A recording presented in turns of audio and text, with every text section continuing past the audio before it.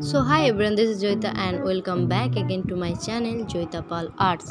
So, আজকে আমি যেটা ড্রয়িং করব, সেটা হচ্ছে গণেশ ঠাকুরের একটা ছবি। সেটা আমি অয়েল পেস্টেল দিয়ে করব অয়েল পেস্টেল কালার দিয়ে। প্রথমে আমি একটা, প্রথমে রাফ স্কেচ বানিয়ে নিচ্ছি। সর্বপ্রথমে আমি চোখ আর সুর থেকে শুরু করছি।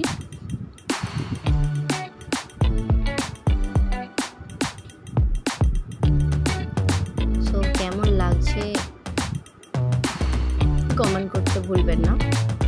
ভালো লাগলে অবশ্যই এই চ্যানেলটিকে সাবস্ক্রাইব করবেন।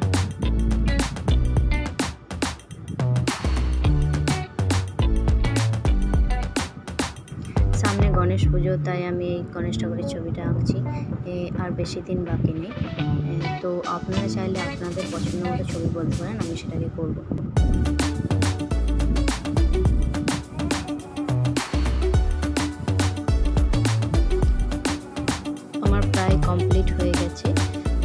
ছবিটা রাফ স্কেচ করাটা এরপর ড্রয়িং রং দিয়ে কালার করব। প্রথমে আমি রেড কালারটাকে নিয়ে নিয়েছি সো সেটাকে হালকা করে দিয়ে বর্ডারটা দিয়ে তারপরে আস্তে আস্তে অরেঞ্জ বা ওর যে লাইট শেডের কালারগুলো দিয়ে ব্লেন্ড করতে থাকব আস্তে আস্তে। এভাবে দুটো ধুতি করে ফেলব।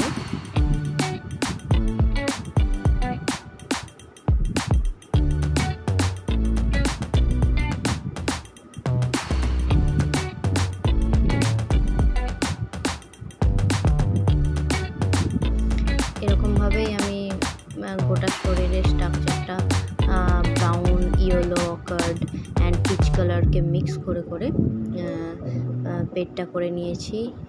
তো আস্তে আস্তে লাইট যেখানে লাইট আছে সেখানে লাইট পোর্শনে লাইট দেবো আর যেখানে হালকা পোর্শন সেখানে হালকা দেবো। এভাবে কান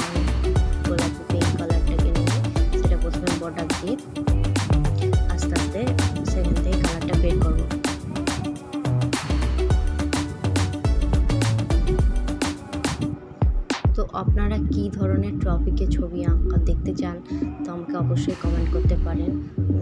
তো আমি সেটা করবার চেষ্টা করব।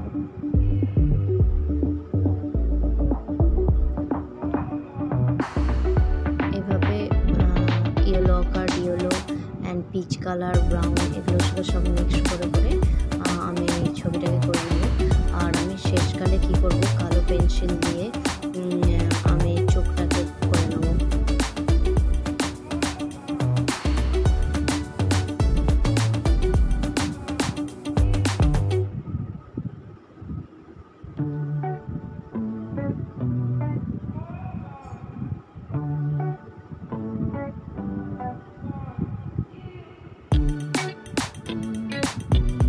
কালো পেন্সিল দিয়ে চোখটাকে করে নিলাম।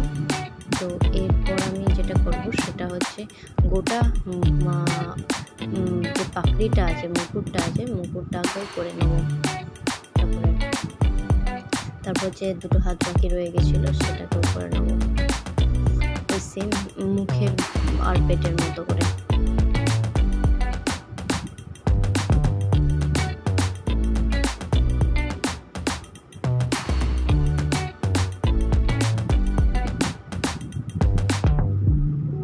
এরপর ব্ল্যাক কালারটা দিয়ে আমি বর্ডার দিয়ে দেবো শেষকালে ব্ল্যাক এটা আমার ব্ল্যাক টেনবির পেন্সিল আমি সেটা আউটলাইনগুলোকে ভালো করে দাগ করে বর্ডার করে নিচ্ছি।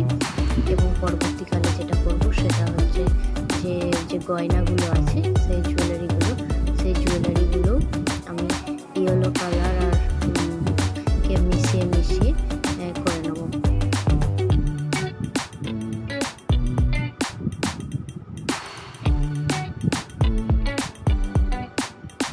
প্রায় ছবিটা আমার হয়ে আসছে।